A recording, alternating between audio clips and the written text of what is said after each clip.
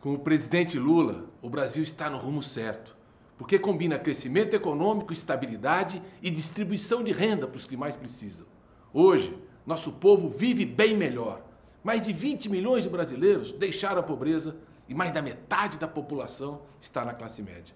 Nestas eleições, eleja quem tem compromisso em construir uma parceria ainda melhor entre o governo Lula e a sua cidade.